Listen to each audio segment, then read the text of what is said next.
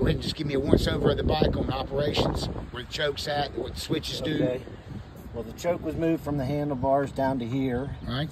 It's got a 1950s uh, gas tank used for an oil tank. Rear sets are where the passenger uh, pegs go. It's got race shift on it. The Hagon shocks. OEM front uh, brake shoes and rear brake shoes. New chain, new sprockets. Pipes, uh, guy out in California made them for me. Tires, the electrics with the uh, AB box and the voltage regulator. They're relocated from under the seat, they're under the tail. Just a little nice, comfortable tail padding. Beautiful. No, it's fucking of beautiful. course, man. Hagon shocks. Rear set, redid all the brake or the uh, cables, sent out the Motion Pro and had them fully make custom lines for me. Um, Dingle two-.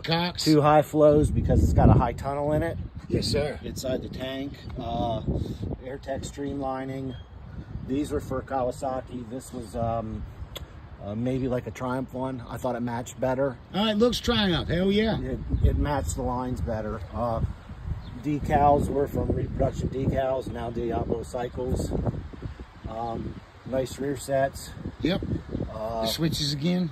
the switches again under here with the battery is an orange, is a yellow switch. Gotcha.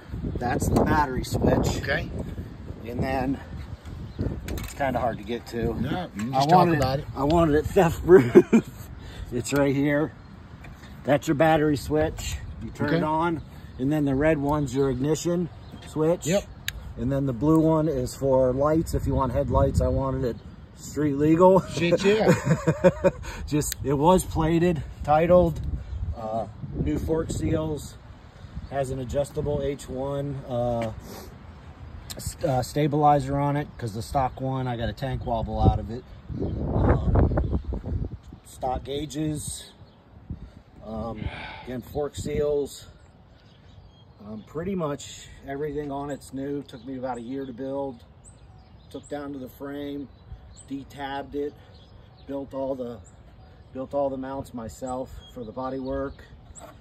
Um, You did a good job, man. pretty much spent me a year of I tried to get the best stuff that I could get that I knew would fit. And uh, the only thing I didn't ever touch is uh, I didn't touch the engine. Uh, I did put a clutch in it. Um, other than that, that's all that's done with. And this is an. A7, right? That's an A7. Yep. Avenger. Yep. The A7 Avenger 350. Fucking super. and it screams. This, Good. I it, it screams. But you were telling me after it got gets warmed up, yeah, after about 15 minutes, it's like it loses compression. Uh, the compression on it's good. I did a center crankshaft leak down test, and that was good.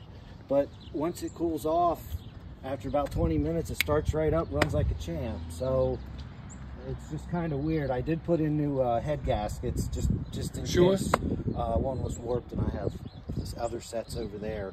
But that's really the only issue with it. Um, been sitting in my garage for six or seven years. Just got out of bikes and just kind of been sitting in the back corner of my bike of my garage. My last one. beautiful.